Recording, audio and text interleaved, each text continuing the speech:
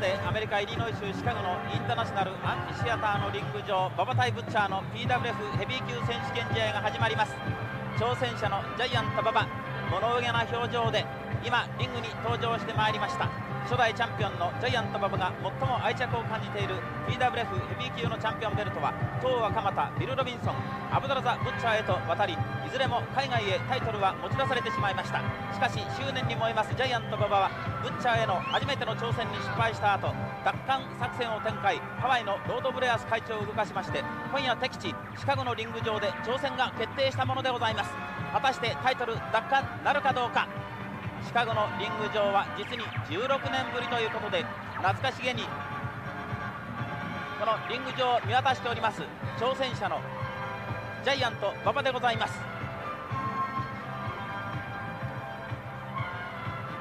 リング上には大会役員がすでに並びました。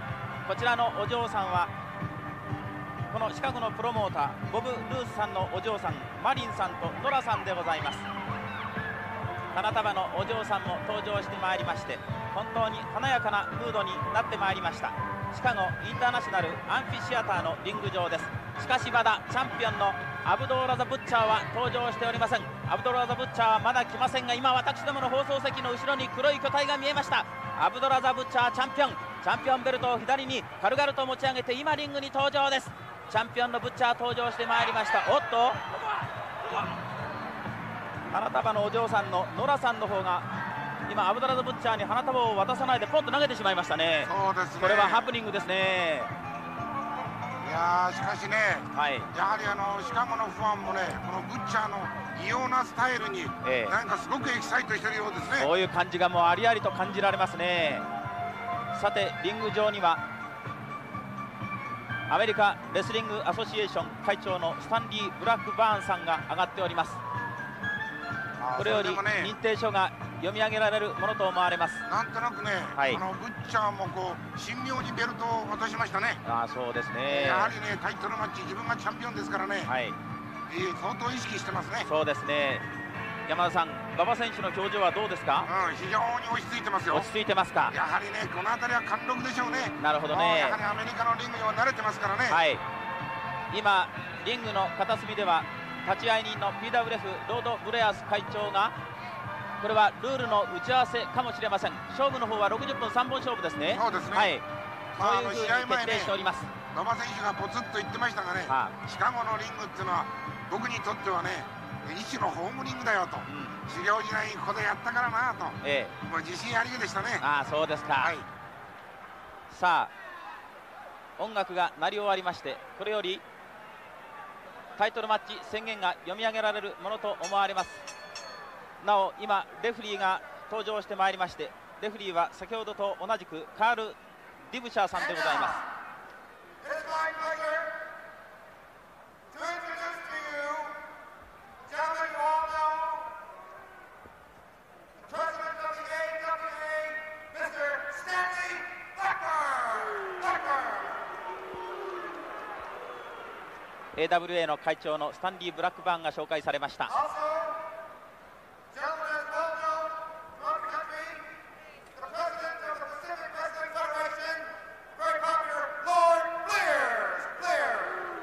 立ち会い人のロード・ブレアス PWF の会長です。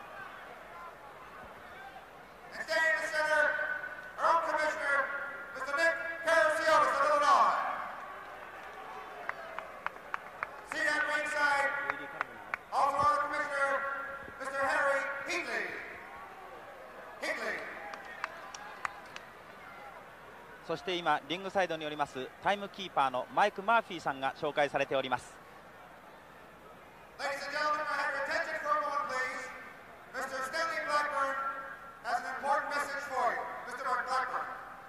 タイトルマッチ宣言です。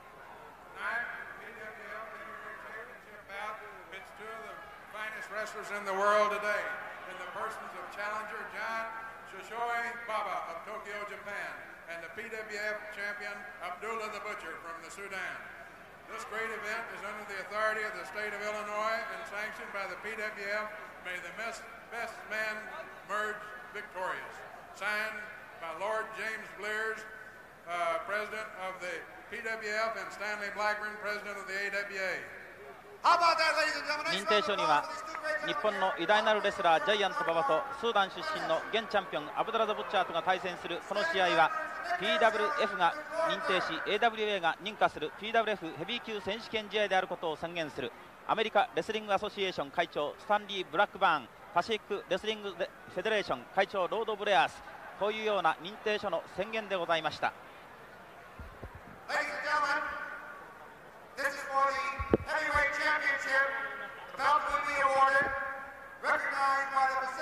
なお先ほどおこの放送のスポンサー移籍納期木桜酒造大砲薬品工業横浜ゴム三菱自動車日課ウイスキより花束が贈られています。さあこれより両選手の紹介でございます。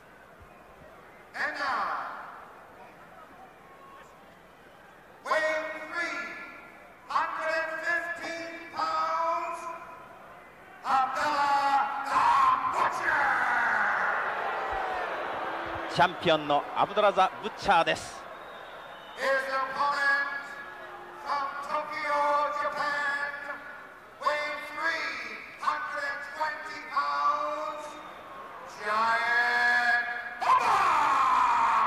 実に16年ぶりのリング上です。チャレンジャージャイアント・馬場。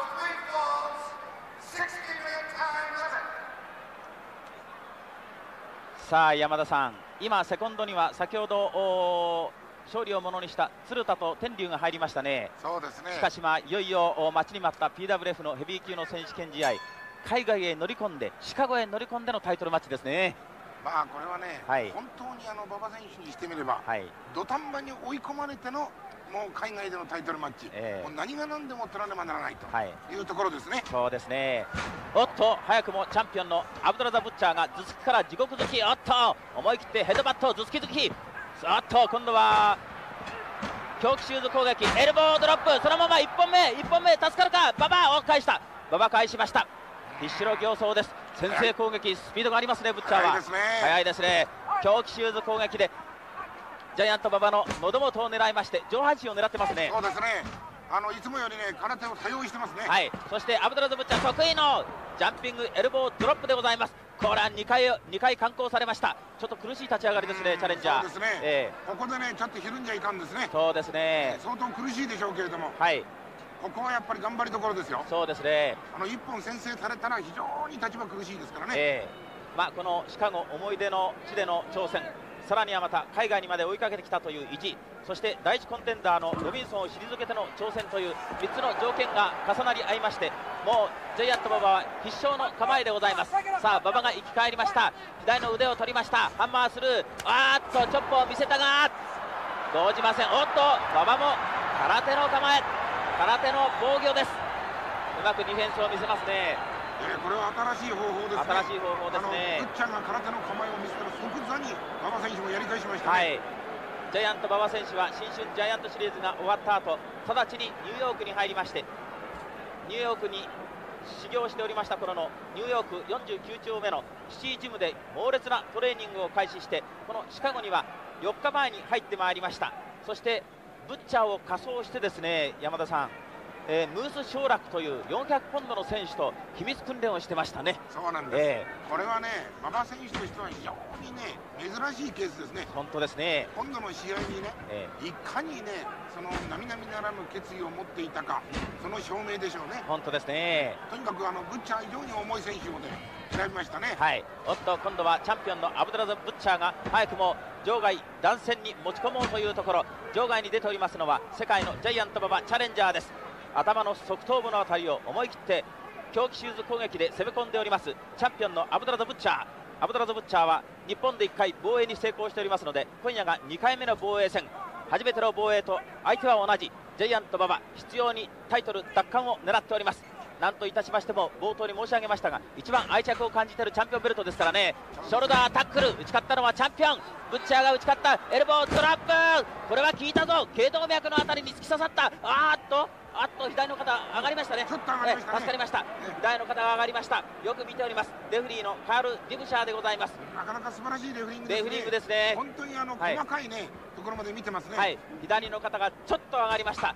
助かりました。チャレンジャーのジャイアント馬場。さあ思い切ってチョップチョップでいきます。逆水平殿下の宝刀を抜ったおっと頸動脈。え耳も言いま耳の攻撃ですね、ははいい、両方に当たりました、これはいい攻撃です、耳そぎチョップを見舞いました、やっと落ち着いたようです、世界のジャイアント馬場、16年ぶりのシカゴのリング上です、さあ、今度は思い切って、おっと、16問キック、顔面に行きま見せますね、顔面に16問キックを見せました、大きなお尻、チャンピオンの、おっと、これは倒れた、おっと、早くも出血、ブッチャーの額、ギザギザの額から出血。フットワークがいいですね馬場選手が、えーそうですね。あの身がね軽く動いてますね、えーまあ、十分にトレーニングを積んでのこの挑戦ですからね、はいこういうね動きがいいですね。フットワークのいい時のキックというのはね、はい威力が違いますねなるほどね。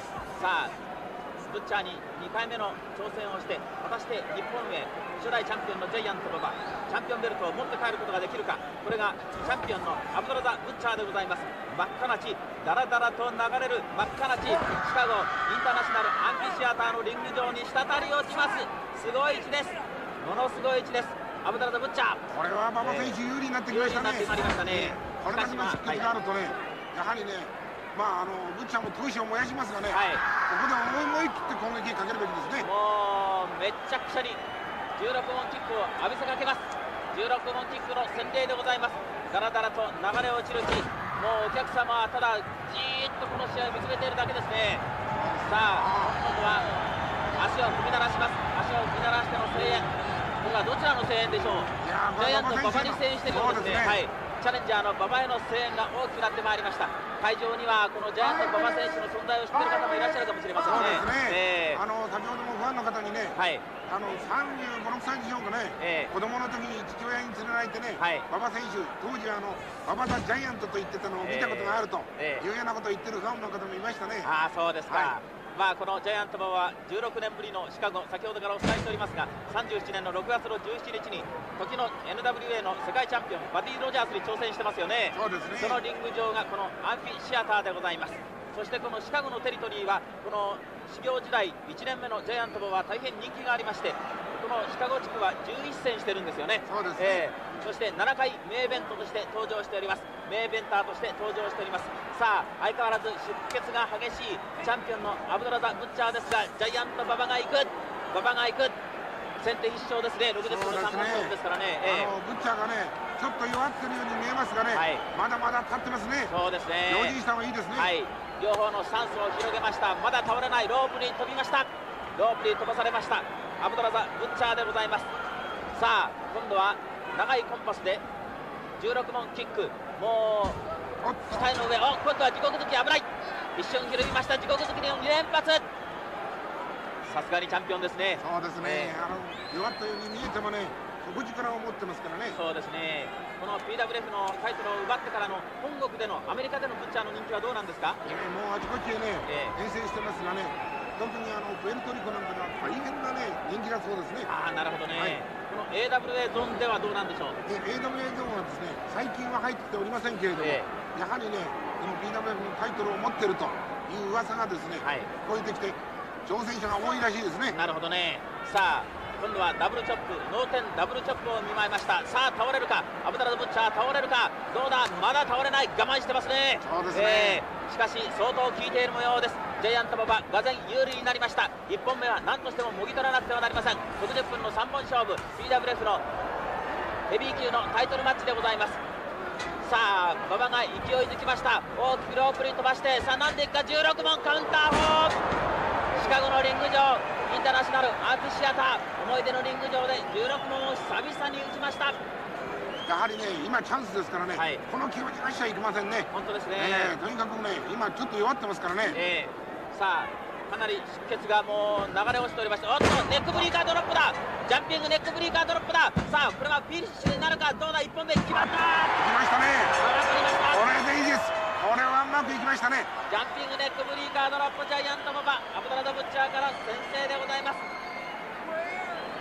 よくやりましたね。そうですね、やはりね、今ね、ロープへ飛ばしてカウンターを取る余裕がなかったんで、はい。自らあの身を躍らしてのええネックブリーカードロップですね。そうですね。見事にチャレンジャーのジャイアント馬場が1本先勝でございます。1本先勝いたしましたジャイアント馬場しかし勝負はまだ2本残っておりますのでまだまだ油断できません。世界の馬場でございますがかなりダメージの大きいチャンピオンまだ横たわったままの状態でございます。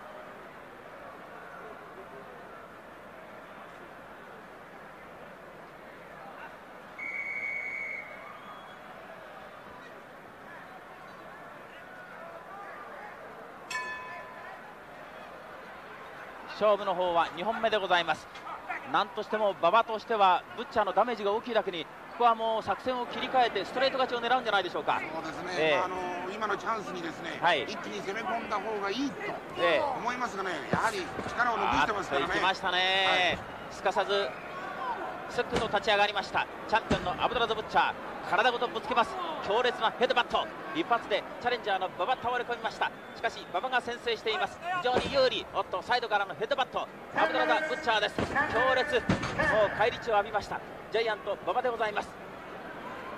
1万2500人。超満員のシカゴのインターナショナルアンフィシアターのお客様がおっとゴーゴーたる声援。アブドラザ・ブッチャーが噛みつきましたとうブッチャーも最後の手段ですね。そうですね、えーやはりね、噛みついてるというか、かなり苦しいんでしょうね。はい。えこのシカゴのインターナショナルアンフィシアターは実に1万2500シートありますが今夜はもうアリの入れる隙間もありません。超満員に膨れ上がりました。さあアブダラズ・ブッチャーが強烈にヘッドバットのラッシュを仕掛けました。後がありません。チャンピオン後がありません。さあここでジャイアント馬場が踏ん張るか。チョップを打つ。チョップを打ったさあ逆水あー防いだ地獄突きチャンピオンやりますチャンピオンの地獄突きそして今度は後頭部へヘッドバットもう本当に頭突き一本やりですね。そうですねえーおっとジャイアント馬場がちょっとエプロン伝いです。エプロンから場外に放り出されました。え続きとね、それから地獄好きですね。えー本当ですね。そして赤い鉄柱へあーっと鈍い音がしました。エプロンによります鶴田それから天竜ももうびっくりしたような表情です。さあ師匠のジャイアント馬場ちょっと苦しい立場に追い込まれましたがカウントが続きます。レフリーのカール・デブシャーカール・デブシャー。今やっとチャレンジャーのジャイアント馬場入ってまいりました。このシカゴのインターナショナルアンフィシアターは非常に古い建物で1934年に建てられたものでございます。非常に大きいシアターです。さあ今アブダラズ・ムッチャーが今度は対角線上に位置を取りました。そしてランニングのエルボードロップ強烈。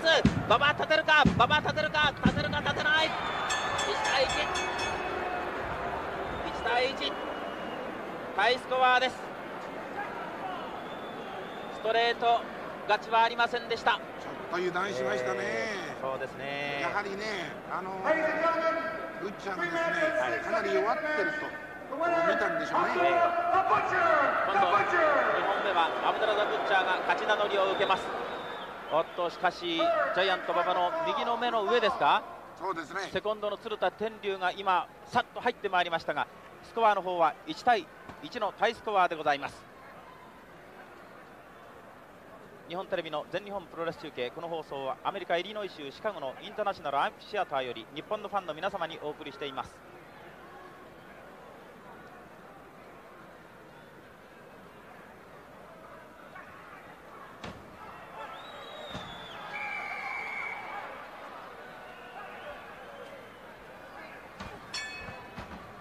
勝負は3本目に入ります。1分間のインターバルの間にも生き返りました。アブダラド・ブッチャーはジャイアント馬場に必要にパンチそれから頭突きを猛ラッシュしておりました。ちょっと馬場が苦しくなりましたね山田さん。そうですね。タイトル奪還なるかどうかちょっと苦しいですね。鉄柱にぶつけられたのが効いてるみたいはい。頭がふらついていますがおっとうまくつま先で立った。華麗なるフットワークを見せる今夜のチャレンジャージャイアント馬場さあアブダラド・ブッチャーの額がまたしても切れました。もうアメリカの女性です。お客さんがもう総立ちでございます。悲鳴を上げています。リングサイドにはそれにしてもいつも思うんですけれどもアメリカの会場はレディー女性のファンが本当に多いですね。そうですね。えしかしあれ、この空手打ちは効果がありますね。え。そうです今ねジャンピング空手を見せましたがね、はい。額が割れてるだけに、ブッチャーの相当ね、ダメージが大きいようですね。そうですね今夜の海外特別試合はアメリカ・イリノイ州シカゴの WGN テレビチャンネル9の制作協力によりまして日本のファンの皆様にお送りしております。勝負の方は決勝の3本目に入っています。果たしてタイトル奪還できるか1対1この1本取ればタイトル奪還成功でありますがアブダラド・ブッチャーのだらだらと流れる血が本部席の方に今ザーッと落ちていきましたね。そうですね。相当の出血です。相当の出血です。ドクターもちょっと心配そうな顔ですね、そうですね。さあここはもうチャンスです。猛ラッシュを見せないといけないんじゃないでしょうか。そうですね。えとにかくねただ接近するときに用心しなくちゃいけませんね。そうですもうねとにかく接近した場合にあの下からの地獄好きがありますから、はい。あれだけを用心していった方がいいですね、はい。さあなんとしても日本のファンには奪還を約束いたしました。世界のジャイアント馬場。世界のジャイアント馬場一番愛着を感じているチャンピオンベルトはもうすでに2代目から4代目まで。外人選手です。さあ16問キック喉元へ。これはいったぞ。我慢する。チャンピオンの意地。チャンピオンの意地。まだ倒れない。倒れない。首を振っています。左の肩を回しました。ダブルチャップ。チャレンジャー。ダブルチャップ。そしてお左の16問だが地獄好きそしてエルボードロップ。チャンピオン防衛かチャンピオン防衛かチャンピオン防衛か防衛か。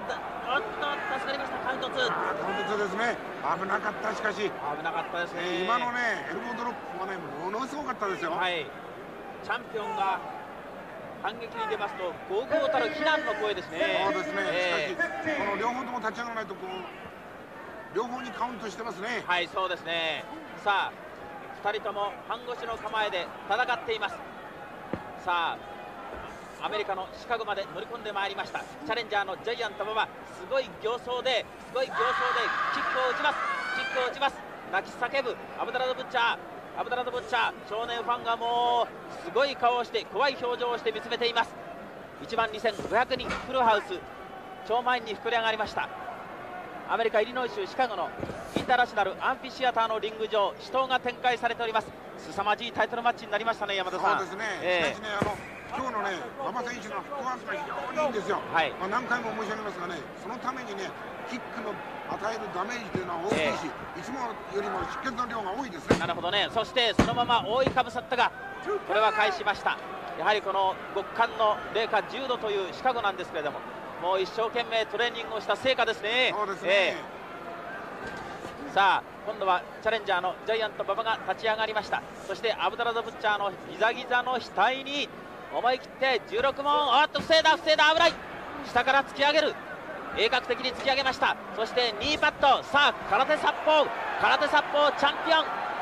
防衛できるか。地獄好きだ強烈に入った。馬場動けない。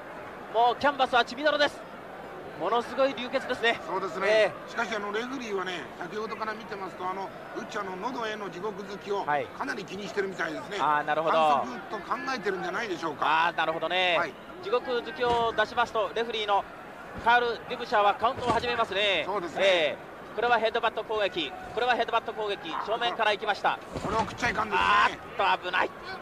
チャレンジャー馬場。大の字。危ないぞここでエルボードロップでも落とされたらちょっとタイトル奪還のチャンスはなくなりますね。そね。あー立ち上がった。チャレンジャー立ち上がりました。なんとしても日本に持ち帰りたい。PWF のヘビー級のチャンピオンベルト。初代のチャンピオンに戻るか。それともアブダラド・ブッチャー2回目の防衛成功か。今のところ3本目の勝負は一進一退だがちょっと馬場のダメージが大きい。後ろに下がったチミドロの顔面が飛んでくるエルボードロップフィニッシュかあっと大丈夫です。カウントまで跳ね抜けましたね。そうですね。えまだ力が残ってますね。あっとおっと両前に落っこってしまいました。ちょっとこれは足元がふらついてましたかそうです、え非常にね足元がふらついてましたがね、ええ。あのロープへリバウンドしようと思って、はい自ら転落しましたね、はい、勢いをつけようと思ったんですが、今、トップロープとセカンドロープの間から頭から落っこちましたよ、そうですね。ええこれはかなりのダメージでしょう、下はコンクリートですからね。そうですね、そして今日のアフィシアとのマットは非常に薄いですよね、そうです。ええ。さあ、ちょっと目がうつろです、さあ、カウントが続きます、カウントが続きます、PWF のルールだ、PWF のルールだ、さあ、肩から当たった、さあ、肩から当たりました、ジャイアント馬場有利、リングの中、アブドラザ・ブッチャー、さあ、チャンピオン、チャンピオン、入れるか、カウント、カウントが続いています、さあ、掛け声とともにカウントが始まっています、さあ、10カウント、10カウン。ト、10カウント、馬場の手が上がりました、馬場の手が上がりました。馬場の手が上がりました。これはまだ正式な発表はありませんけれどもジャイアント馬場今のところタイトル奪還したと申し上げてよろしいですね。そうですね、あのレフリーはね完全にね、カウントアウトしましたからね。これには怒りました。アブダルド・ブッチャー。さあ助っ人の天竜に一発頭突きをかませました。とうとうチャンピオン2度目の防衛は失敗でございます。今立ち会い人のロード・ブレアーズ PWF 会長がリングの中に入りました。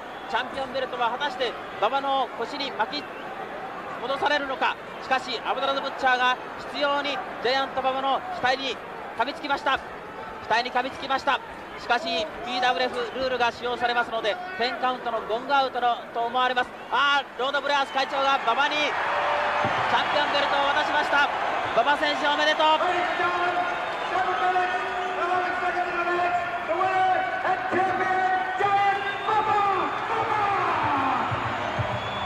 場が勝ち名乗りを受けています,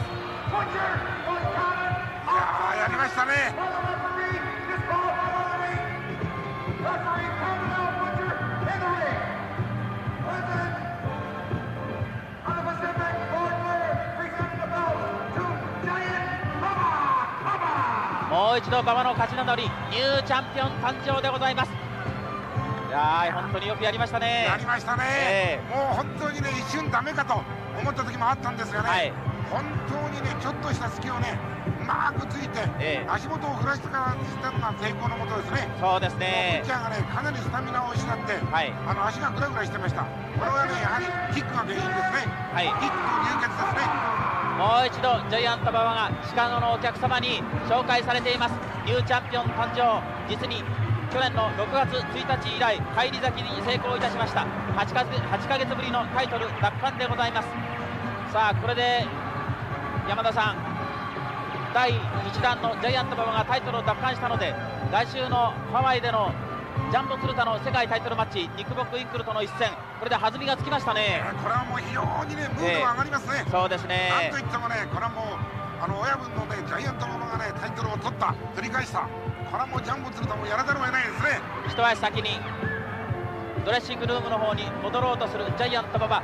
ジャイアント馬場の腰には黄金の PWF の B 級のチャンピオンベルトが輝いています。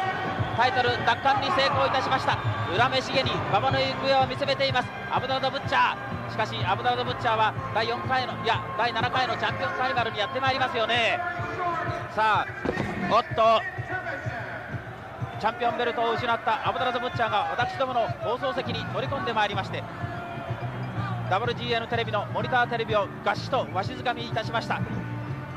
このお尻の下に私がいます。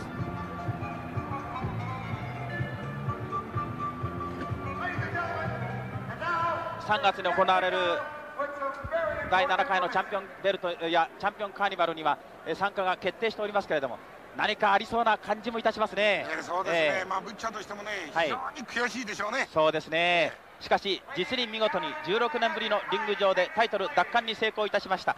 ジャイアント馬場でございます。すごすごとドレッシングルームの方に戻りつつありますアブドラザ・ブッチャーです。よく前線いたしましたが2回目の防衛は成功いたしませんでした。ボディーガードに付き添われましていかにもアメリカのレスリングらしいところボディーガード2人に囲まれましてドレッシングルームルームの方に戻ろうとしておりますアブドラザ・ブッチャーです。すでにニューチャンピオンチャンピオンに返り咲きました。世界のジャイアント馬場の方は控え室に戻っています。喜びを山田さんかみしめているでしょうね。そうですね、ええ。なんといってもね、馬場選手にとってはこんなに苦労したタイトル戦線というのはないわけです。そうですね。もう苦労に苦労を重ね、はい。本当にファンの方にもですね、ええ。もういろんなことを言われて、はい。それをじーっと耐え抜いて、やっと今日この異境の地でですね、はい。タイトルを取り返した、これはもう本当に素晴らしいですね。堂々たるタイトル奪還。ジャイアント馬場が返り咲きに成功したことをお伝えいたしましてアメリカ